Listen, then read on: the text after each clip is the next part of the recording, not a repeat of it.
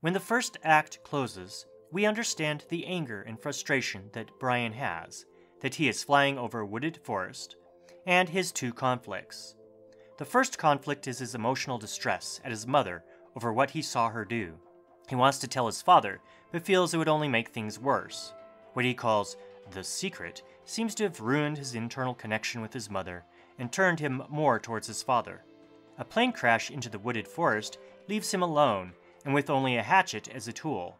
Without any kind of knowledge other than bits and pieces he learned on television and at school, he has to learn how to remain alive. We know he is a city boy, dropped down into a world never before known to him.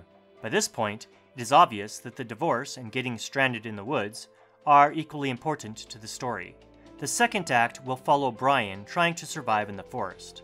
It will also determine if he can come to terms with what his mother did and the divorce of his parents. Starting with almost nothing, we'll see how the story Hatchet by Gary Paulsen has him progress and build on each new challenge.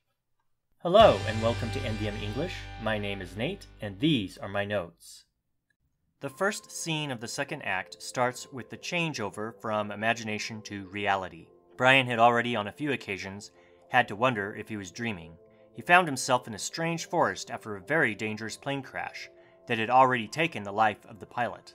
Of course, the pilot had a heart attack that caused the crash, so he was already dead. There was no mother or father to protect him. His friends were safely at home. He had to crawl out of the wreck and swim to an unfamiliar shoreline of a lake, all on his own. No matter how real the experience, it was as if it was happening to someone else. He couldn't accept it. Most likely, anyone put into a situation like this would not believe it was real. At this point, there's two choices give in to frightening hopelessness and its deadly consequences, or become determined to fight to remain alive. The plot of the story wouldn't go very far if Brian remained sitting at the foot of the tree. Even if his prediction that hungry animals would find and eat him in the night turned out false, he would still end up starving or dying of exposure to the open. Notice that the second act doesn't start with Brian getting up and looking for food or shelter. It starts with him making a decision. An image from the past comes to mind as he thinks about games him and his friend used to play. They'd go into a park and pretend that they were lost. Not only were they safe because it was a child's fantasy, but they would have all kinds of tools to use. One of the most important of those tools would be a match. In his mind, if he could only have a fire, then all would be well. But he doesn't have a match, and knows nothing about how to make a fire without one. Almost nothing about the game of Lost in the Forest he played with his friend is of any help. The only thing that he gets that is useful from that game is the need to find shelter. There's wood all around him, and he has the hatchet that his mother gave him as a gift. He could at least make a lean to for minimal protection. Luck often shows up in the plot of this story, and Brian recognizes this. He is thrilled to have found a partly scooped out part of the cliff that he can use for shelter. Of course, the hatchet is available to cut wood make a more protective covering over the mini cave. Without his mother giving him the hatchet, it would have ended up much harder to survive. He shouldn't have even survived the plane crash, but yet here he stood in a forest, bruised but not seriously injured. Brian also looks at the other side of luck and questions if that is the right way to describe the current events. Without the secret, there wouldn't be a divorce. Without a divorce, his parents would still be together. If his parents remained together, he probably wouldn't have to take the plane ride to see his father. Taking the plane ride leads to the crash, and becoming stranded all alone in this strange forest. Plot continually builds from coincidence to coincidence, but there has to be logic to connect them together. They can't be unconnected events, or it could be hard to believe the story. We might be invested in a boy surviving in the forest, but how he got there in the first place shouldn't be left out. Knowing why he was in the plane and how it crashed helps to establish the storyline and what to expect. That he is a boy who just crashed and ended up with a hatchet in the middle of nowhere, without leading up to that, can be confusing. Not that it wouldn't make for a good story, but it would be a different story. It could be a mystery slowly unfolding about who the boy is and how exactly he ended up in the forest.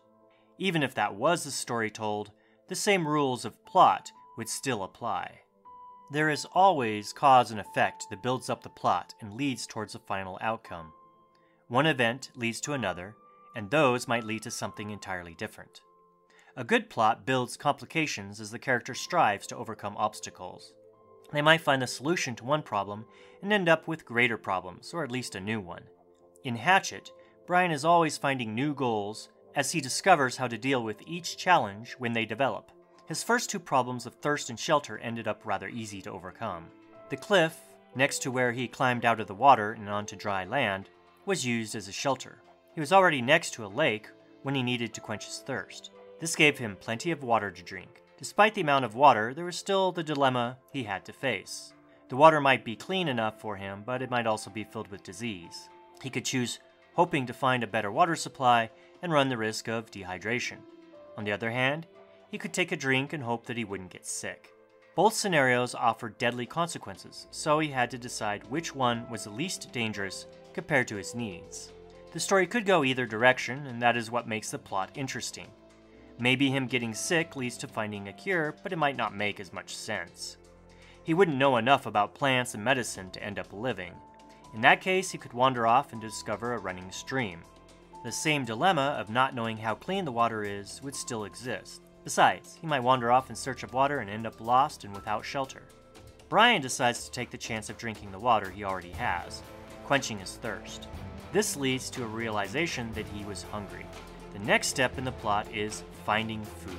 The search for food makes his life even harder.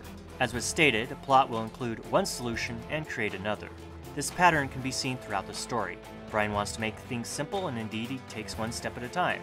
However, no matter how slowly he takes things, there's always a huge complication that threatens to make his situation worse. The first real breakthrough that ensures he will live is finding some berries to eat. That should have been the final salvation as a person alone in the wilderness. It turns out that filling his belly with those berries causes its own problems. Next morning, he's extremely sick, and the berries basically lose his dinner. Although the berries don't turn out to be deadly, he does need to learn how to control his eating habits. More importantly, he recognizes that he has to find a new food source. It also brings back emotional memories equally as painful. When he first wakes up from the stomachache, he calls out for his mother. Once purged of the offending berries, he starts to remember details of the secret he witnessed. He goes into detail about watching his mother kiss a stranger. There might not be an actual relationship between the two conflicts of hunger and the secret, but they are both connected by pain. The memory is filled with strong emotions, as painful to his heart as the berries to his stomach. The more Brian finds solutions, the greater his goals. As his list of food items grows, so does Brian's confidence. He can't eat the gut berries that make him sick without finding other sources of food. No matter how careful he might be picking the best of the berries, they will not keep him alive. The next stage is to find better berries.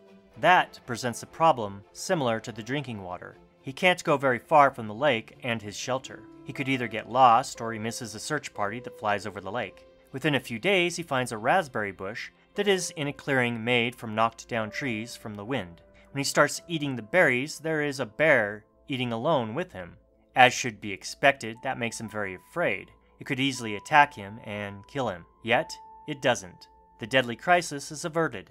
The incident is more than a quick moment of suspense. It is a reminder that no matter how easy things can get, there is always a danger lurking nearby.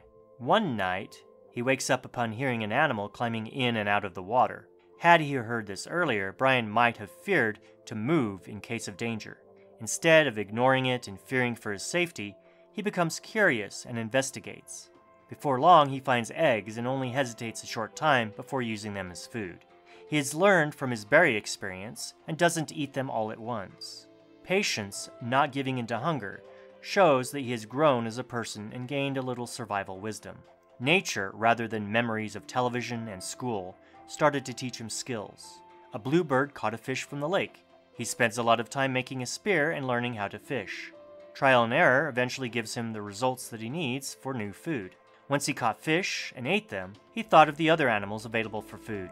He had become more aware of the sights and sounds of his surroundings. The plot was developing a city boy into a clever woodsman. Hints are placed in the plot to prepare for future events. Take the bear, for example. Bears are dangerous animals. Perhaps the bear will not be encountered again, but there will be other animals. It is enough for Brian to be reminded that he has a hatchet for protection. He'll need that for help in getting ready when another animal finds him. Eventually, at one point, a porcupine enters his shelter and hurts Brian's leg. In fear and frustration, he hurls the hatchet at the intruder like he planned to do with the bear. This makes sparks fly when hitting the hard rocks. The next morning, after a series of dreams, he realizes how to make fire by using the hatchet. There are other hints throughout the story as well. His daydreaming about playing Lost in the Woods with his friends introduces the idea Brian doesn't take things seriously. His having to deal with that truth will come up later when something makes him lose hope of rescue. Trees blown down with a very strong force of wind when he finds the raspberries introduces the possibility of bad weather. That plot point will be talked about in another episode. Descriptions that seem a small part of one plot point can become more important later. When it seemed the story was going smoothly and with some prediction, an airplane overhead increases the conflict. This is the halfway point of the story when the plot takes a drastic turn. Brian has assumed that after all this time, he would be rescued. His main goal was to survive long enough to last until found and return home. The scene starts like many others where he is trying to achieve a small goal. This goal was making a spear to catch fish, and after that, hunt for some small birds he noticed were abundant. Above his head, he heard a plane fly when he wasn't near his usual sheltered area. Once he heard the plane, he dropped what he was doing and tried desperately to make contact. Unfortunately, he was not seen and the plane disappeared slowly on the horizon. Rescue wasn't going to be today, and this got him thinking that perhaps it never would. The plane was gone, the spear was gone, his family was gone, and most of all, hope was gone.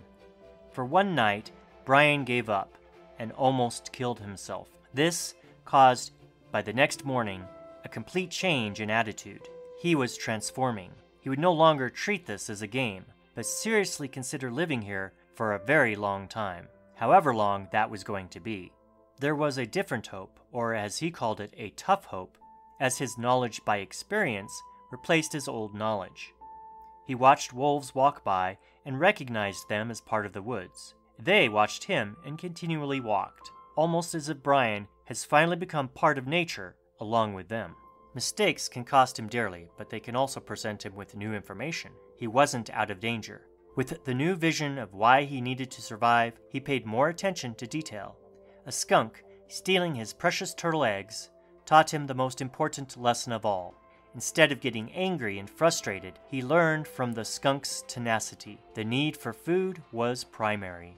Without eating, shelter and fire would be useless. He built a stronger shelter, a natural cage for fish, and a food storage space to prepare for the future.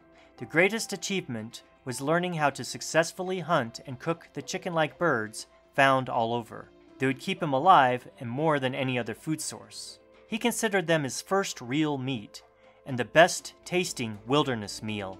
With a new perspective, strong shelter, and plenty of food for now, the second act of the plot comes to a close on a high note. Question for discussion How does using the knowledge he used before the crash and the knowledge gained while alone in the forest influence the plot events? Click the subscribe button and notification bell to not miss the next installments and analysis.